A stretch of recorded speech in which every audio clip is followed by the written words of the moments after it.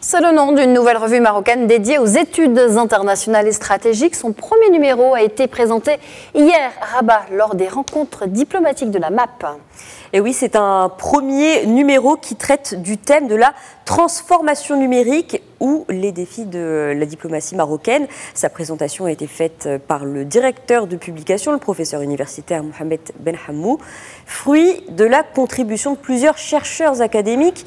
Ce premier numéro de donc cette nouvelle revue traite de divers sujets. Il se rapporte notamment à la sécurité digitale au Maroc, à la politique africaine du royaume ou encore aux dimensions géopolitiques de sa nouvelle politique migratoire. Écoutez justement le directeur de publication, Mohamed Ben Hamou.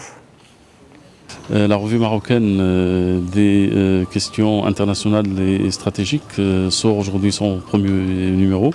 C'est une revue indépendante qui, bien sûr, regroupe beaucoup de chercheurs et d'académiciens marocains et étrangers. Cette revue qui a un caractère couvrant l'ensemble des questions internationales et stratégiques dans les différentes disciplines politique euh, internationale, économique euh, et juridique elle a euh, pour vocation de permettre aux chercheurs marocains d'avoir une plateforme à travers laquelle on peut à la fois réussir une promotion de la recherche au Maroc, mais aussi traiter des questions qui relatent et reflètent aujourd'hui les différentes évolutions que connaît notre pays.